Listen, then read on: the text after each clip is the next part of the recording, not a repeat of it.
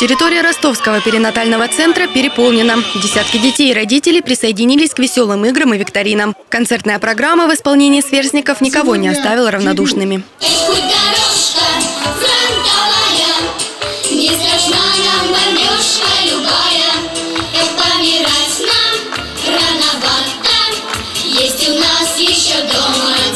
Главная гордость центра – двойняшки-тройняшки, которые здесь родились. Чтобы не прерывать традиции успешных родов, руководство медицинского учреждения ищет молодых специалистов. Их дефицит поможет преодолеть новая кафедра Ростовского мединститута. Основные целевые направления в этом году э, при распределении мы отдавали на педиатрическом факультете прежде всего врачам-неонатологам, которые будут обучаться в течение двух лет на этой вновь открываемой кафедре.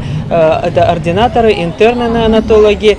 Прежде всего будем готовить на кафедре, конечно же, специалистов для Ростовской области. Ростовский перинатальный центр – один из лучших в мире. За три года его существования врачи помогли появиться на свет сотням малышей и сохранить здоровье их мамам. Всплеск рождаемости делает этот центр незаменимым. Последние два года на территории Ростовской области рождается рекордное количество детишек, более 50 тысяч. Это э, самый хороший показатель того, что э, жизнь наша стала немножко легче, потому что никогда семья не заведет ребенка, если они не понимают, какое будет у него будущее. Вице-губернатор подчеркнул, что забота о здоровье и социальная поддержка маленьких дончан – одни из основных задач, которые поставил перед правительством области глава региона.